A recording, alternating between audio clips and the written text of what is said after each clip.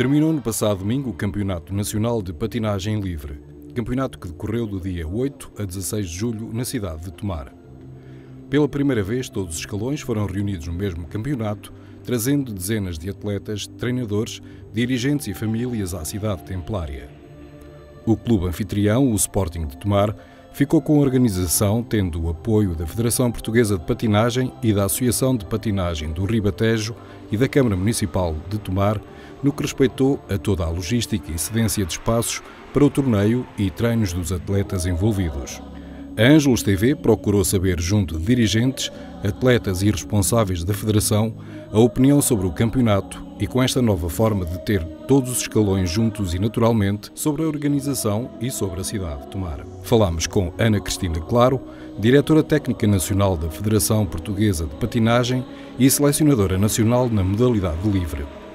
Está a ser um campeonato com nível muito elevado. Acho que é uma mais-valia terem juntado todos os escalões, mesmo em termos de público e do conhecimento dos atletas uns dos outros, porque é assim, quando faz, faz separado, os infantis não conhecem os séniores, os séniores não conhecem os iniciados, portanto, assim, em termos de camaradagem, acho que tem sido uma mais-valia para a modalidade e para a evolução da mesma. Já Elisa Pereira, delegada da Associação Desportiva de Penafiel, quando questionada sobre ter todas as classes no mesmo campeonato. Não é fácil, porque disponibilizar uma semana de nosso tempo para estar toda a semana com os atletas, mesmo em termos de treinadores, temos outros atletas que ficam com menos treinos, mas penso que será uma opção a reconsiderar, a voltar a, pensar, porque também ocupar três, quatro fins de semana durante o ano também alonga muitas provas. Quando procuramos a opinião dos atletas, Diogo Silva, da Associação Desportiva de Penafiel, pensa que é está a ser um campeonato muito bom. Este é o primeiro ano em que juntamos os escalões todos numa semana. Um, as condições do pavilhão são muito agradáveis. É um pavilhão um bocado quente, mas o tempo também não ajuda. Mas as condições são muito boas, o piso é muito bom e pronto, está a correr bem. E Daniela Sardinha, da Liga de Algés.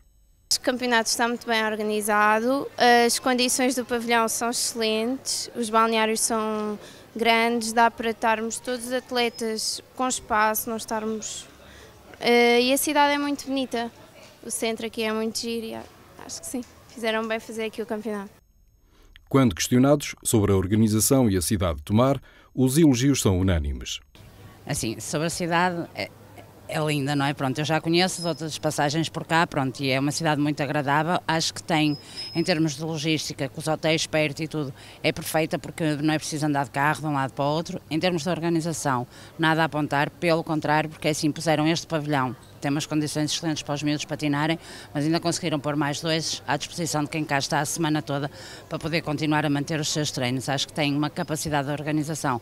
As pessoas são incansáveis, os voluntários, não sei ao certo quem é o que é aqui dentro, mas realmente tem sido entre a Câmara e o Sporting Clube Tomar desdobram-se, não nos falta rigorosamente nada, tratam-nos e os miúdos sentem-se muito bem. A cidade tá, é uma cidade lindíssima que acolhe muito bem os visitantes. Foi muito interessante termos apanhado a festa dos Templários no fim de semana passado, mas este fim de semana à noite continua a ser muito agradável passear pelas ruas de Tomar. Estou muito satisfeita por ter estado cá esta semana. Tomar realmente é uma cidade muito agradável. Em jeito de balanço final, Anabela Freitas, Presidente da Câmara Municipal de Tomar, disse à Ângelos TV: Permita-me fazer um balanço a dois níveis. Primeiro, aquilo que é ao nível operacional, de como correu o próprio campeonato, é, ao nível desportivo. Aquilo que me tem sido reportado é que o campeonato tem corrido bem, portanto, este modelo de agregar os vários escalões Uh, uh, está a correr bem, correu bem, pelo aquilo que me dizem, mas também para tomar foi muito importante durante mais de uma semana, porque o campeonato começou no, no passado sábado e, portanto, termina hoje, domingo, portanto, mais de uma semana. Tivemos, do ponto de vista da cidade e do Conselho, tivemos uma grande divulgação por todo o país, bem como tivemos pessoas de todo o país aqui na nossa cidade. Eh, a indústria hoteleira esteve a níveis quase de 100%, em algumas unidades hoteleiras atingiu-se mesmo o 100%, a restauração também se ressentiu, no bom sentido, obviamente, eh, do campeonato e, portanto, eh, acho que estamos todos de parabéns.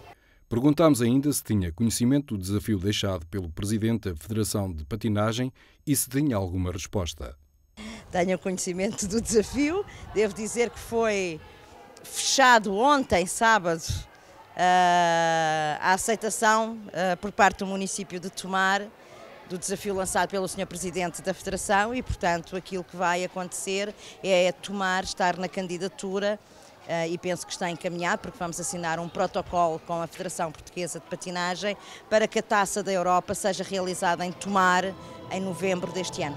Desta forma terminou o Campeonato Nacional de Patinagem Livre, prova que se revelou um sucesso quer nas prestações desportivas, quer na organização do Sporting Clube de Tomar.